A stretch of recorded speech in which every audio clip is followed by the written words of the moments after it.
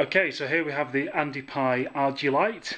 Um, it's basically a demonstration project to show how this works, which is a WS2801 uh, LED pixel.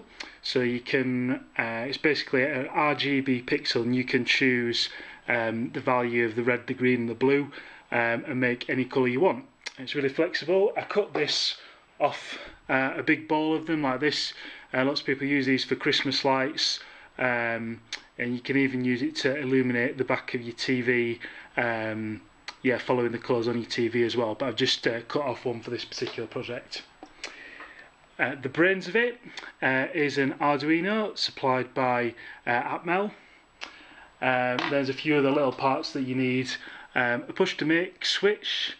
Um, this one uh, is being supplied by TE Connectivity uh, who've also uh, sponsored us for this project with some heat shrink, which is really useful just when you wanted to put stuff together.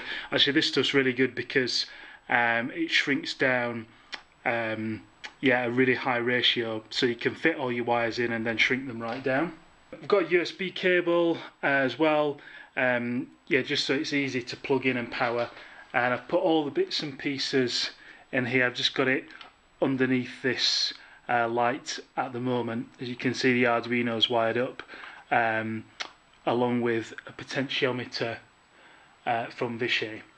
So I'll just give you a bit of an idea of how this works, and it's probably better to see it in the dark. You press the button, turns on to red, then green, then blue as each time you press it, and then white, and then press it again, and it basically fades through um, all the colours in the HSV spectrum which we've set up in the code um, and if you turn the potentiometer uh, the Arduino looks at that and looks at how uh, fast um, it's going to change the colours, the delay between changing the colours depending on what value you've set the potentiometer to.